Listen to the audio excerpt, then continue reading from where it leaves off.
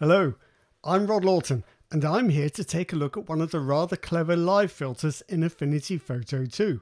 It's the depth of field filter I'm looking at this time, and the clever part is that Affinity Photo's live filters are non-destructive. This means that you can go back at any time to change the settings if you decide the blur isn't quite right or the positioning is wrong.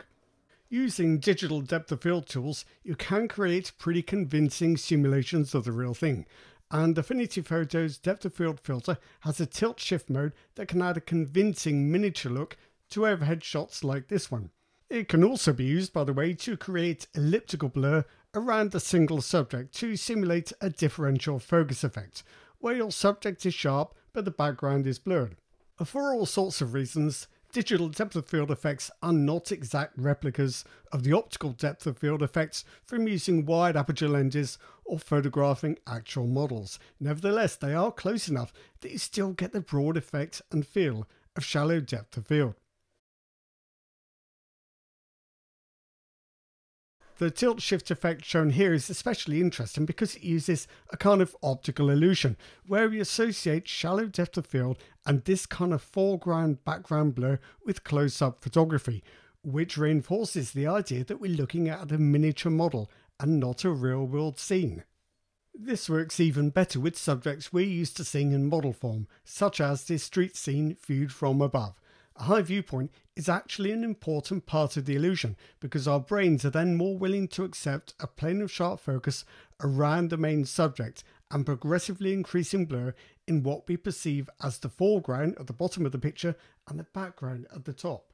Affinity Photo's implementation is especially interesting because it allows for a sharp strip in the center of the image that allows for a bit more control over what appears sharp and what is starting to blur.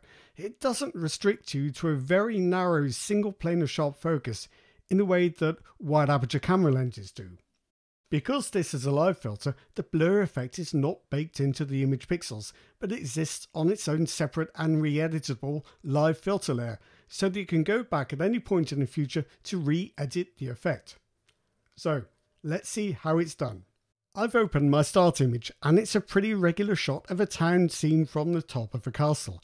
I reckon I can make this look like a little model village with a careful application of Affinity Photo's live depth of field filter. You'll find Affinity Photo's live filters at the bottom of the layers panel you need the fourth icon along in a central group of four, the one that looks a little like an egg timer. Clicking this will display a long pop-up menu of live filters. Don't get distracted by all the other blur filter options at the top of the list. The one you want is the depth of field filter, a little way down the list. Once the filter is added, you'll see a panel where you can choose the options. Affinity Photo's depth of field filter can work in two modes, elliptical and tilt shift. The elliptical mode is set by default, where you get a circular area in the center that remains sharp and an outer circle to show where the full blur takes effect. In between, the blur is faded in gradually.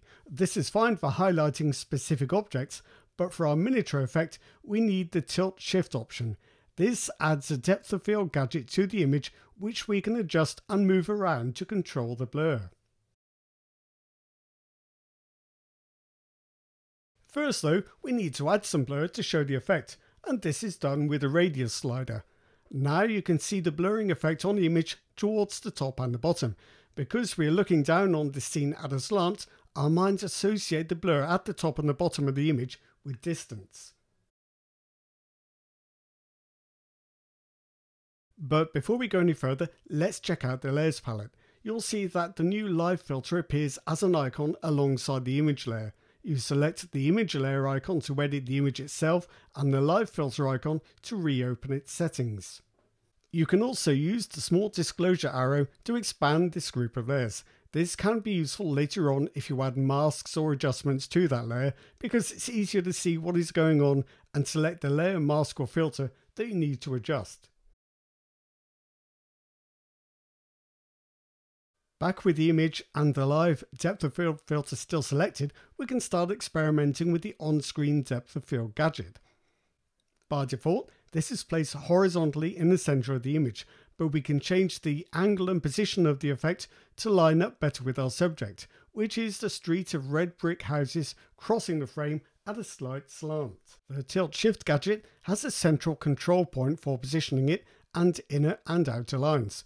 The inner lines mark the edges of the central sharp strip of the image and the outer lines mark where the blur reaches full strength.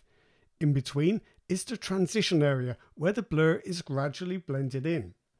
You can drag these inner and outer lines in and out independently to adjust the focus fall off and you can make it different for the background and foreground too. You might need to experiment with the controls and the blur radius at the same time to get your tilt shift effect looking just right. The live depth of field panel has two more sliders, vibrance and clarity. These are to help with the illusion that you're looking at a small scale model and not a real scene. These tiny scenes are often brightly coloured and very clearly defined, unlike the real world scene we started with where the colours are quite muted and there's some atmospheric haze. We'll push the vibrance up to maximum. Actually though, Affinity Photo's vibrance adjustment isn't that strong, so let's add a vibrance adjustment to fix this. Despite the name, the vibrance adjustment actually includes a saturation slider too, and that's what's going to give the strongest effect here. There is a difference between live filters and adjustments in Affinity Photo. Live filters are attached to specific layers, whereas adjustment layers are inserted above existing layers and affect every layer below them, though you can attach them to specific layers if you need to by dragging their icon onto the image layer icon. In this case, we don't need to worry too much because we only have one image layer and our adjustment can stay at the top of the layer stack. So that's our tilt shift miniature effect finished.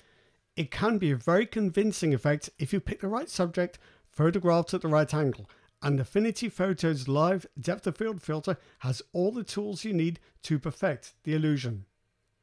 That's it. Thanks for watching and see you next time.